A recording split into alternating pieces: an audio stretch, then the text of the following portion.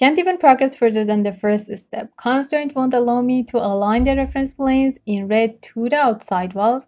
I am sick of this program and only been using it a week. How many of you can relate with this comment? I bet most of us can because I personally do.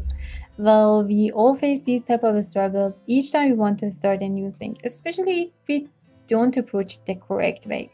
This can easily lead to a wasted time, frustration, and sometimes even leaving us feeling stuck or overwhelmed.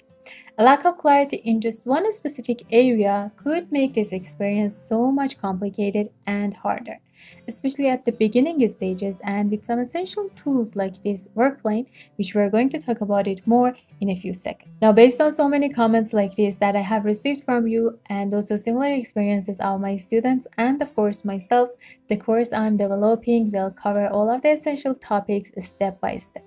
We will start with the basics and gradually move into the more advanced topics. It is structured the way that after the first few weeks, you can easily model parametric families and after the course is finished, you can tackle any project confidently. There will be nothing in Revit world that you cannot handle. I will explain more about the course in future videos, but for now, if you would like to stay updated, make sure to check the site and also sign up with your email. Now, Let's see what is workplane and how we can use it. So since this is a foundational concept that you need to know about, I'm going to give you a little bit of background. We all know that in the project browser, based on the template we are in, we can see different views, right? We have floor plans, ceiling plans, 3D views, and also the elevations. In each one of these views, you will have different parts and you can do some special things, actions, okay?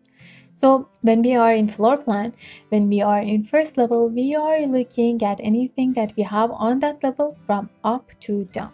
If you check the properties section in underlay in this part, you can see that it is said look down. So this is for the floor plans. This is what floor plan means. Uh, if we go to elevation, we can see anything that we have on the project from left, right, front, or back depends on uh, which view you are in okay? Uh, if you look at the first level in here you can see the north view in here you can see the south elevation the east elevation and the west elevation. So it depends on the location of these points. If you go to that view you can see that specific object anything you had on the uh, project you can see it from that view let me go to first level and just place some simple thing in this part. Okay so this is a chair this is desk and we are in first level and we are looking at it from up to down. If we go to south view we can see it from the front or back view. Now since we placed it on the first level the placement the base of this component is going to be set exactly on the first level by default. You don't have to set anything in here. And this means that in first level, your work plane is set on the first level, no matter where it is. If you go to second level and place something on that level, your component will be on that level. So if I go to second level, I am going to place something else in this part and if we go to the south view we can see that we have two different components in this part on two different levels so this means that some views by default have some special work plane and you don't have to set anything on those parts. Um, unless you want to like place something in between those things or you want to have like mm, rotate things place mm, your component or create something on very like unique angle or on unique face okay on that cases you can uh, set the work plane and work on it. Now there is also another thing. We have 3d views. So uh, floor plan and the elevation are 2d views. But we also have the 3d view which uh, have the z axis. And we have like three axes right? We have x y and z axis. If we are in first level we are working on the x and y axis um, if I want to say it simply we can see the width and length of something anything, anything that we have on the project. If you look at it from elevation, we have X or Y axis with the Z axis. So this means that we have width with height or length with height. Depends on the view you are in. So we can't see axis in here. We can't see work plane. We can't see all of those details in this part. We can see them in AutoCAD or in 3D view, but we don't have those axes in here. So I have created very simple shape, very simple form in this part. Just consider that this is an axis. So this is the X and Y axis. This could be Z and X and this one is Z and Y okay? So each time you place something on first level in this part on floor level you place something on this axis. Okay? By default you can't see it. Let me show you this with an example. Right now we are in 3d view and by default we said that by default the work plane is set on first level. So now if i want to place something i should place it in here on this face right exactly on this part. If i look at it from the front view i can see that it is on this part. But if i want to place it on another view if i want to place it somewhere else or if i want to create something else on some other parts for example on this axis what should i do?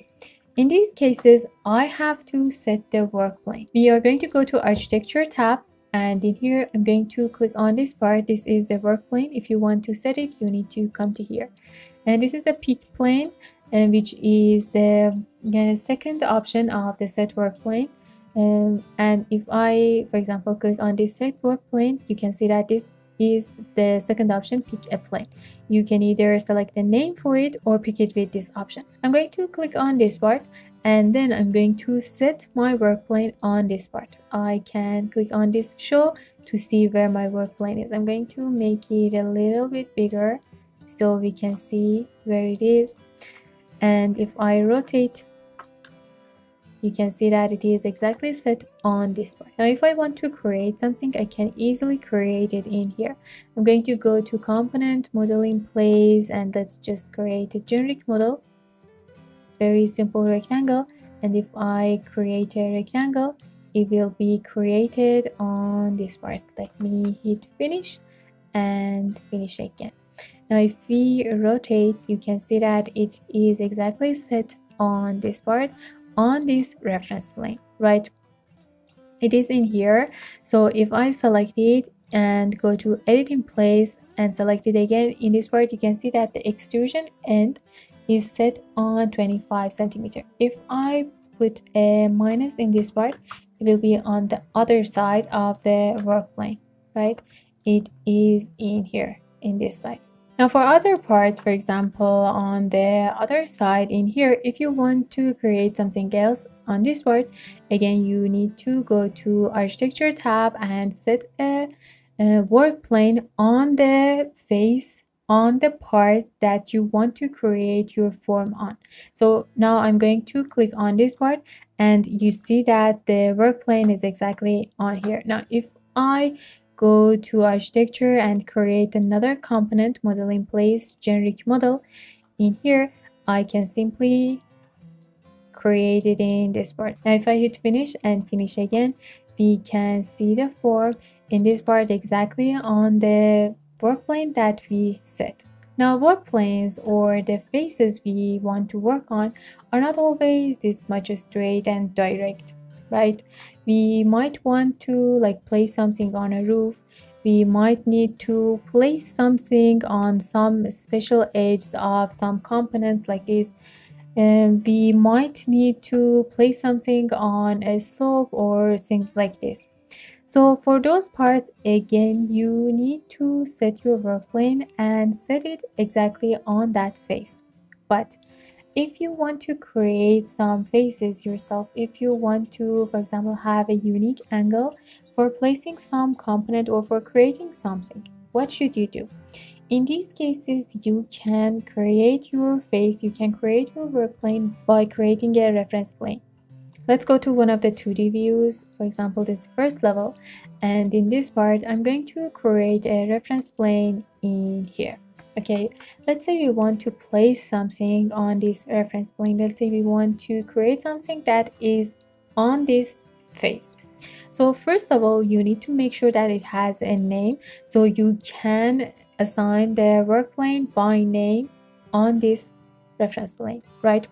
I'm going to just simply click on it and change its name like this. Give it any name you want. Now the next step is to go to set and set work plane. And in this part you need to search for that name between these views. I'm going to select this one reference plane a and okay now it suggests us that you need to be on a view that you can work on this reference plane. We are in a first level okay we are in a floor plan. So we can't create something on another axis. We can create um, component or forms on different levels on different elevations on this level but we cannot create it on another axis. Okay i explained that we are in x and y axis. So we can't create anything on any unique face or on um, X or Z axis. So we have to go to the view, which is a 3D view or on one of these elevations. It is easier to go in 3D view. It is easier to work on exactly what you want in here. So this is the reference plane. This is the face we want to work on. Now that we are in here, I can go to architecture, component, create a generic model. And in here, I can create some unique form, anything I want in this part like this. If I hit finish, my form will be created exactly on this part exactly on the work plane that I set it on. Now, if you want to, like, for example, create another thing on any unique face because we have like edges in these parts. We have planes in here. If you want to continue and create something else on some other faces you need to again go to architecture set this time i'm going to use this pick a plane and i'm going to easily set my work plane on here. Now if you look at the work plane you can see that it is on this part. Now you can again go to component, model in place, generic model, and then extrusion or any other forms that you want. And then simply create the shape you want on the face you selected like this. Another thing you need to know about the work plane or reference planes is that anything you create, any form or any component you create on that work plane will be always on that plane. You can't see the end of it, but your form, your object, your component will be always on that reference plane. So it doesn't matter if you move it around, if you move it outside this reference plane, if you turn the mm, work plane off like this, your component will be always on that reference plane or work plane. Also, if you want to face directly to the work plane you have selected, you can go to architecture tab and in this work plane section, you can click on this viewer. So in this part, you can see the work plane that is active. If I change it, let me close it and change my work plane to, for example, this part, this face and go to viewer again you can see that it is showing another thing. This is the object that we just created and it is in this part you see that it is facing other way. So right now we are facing directly here and if you want to create something you can use this view to to like see what you are working on. So this was just an explanation of how work planes works how reference planes works how we can control them and how we can create exactly what we need on the faces we want. This was just an intro of the first chapters of the course, so definitely there is so much more to explore. Thank you so much for watching until now. Don't forget to check the site and I will see you soon.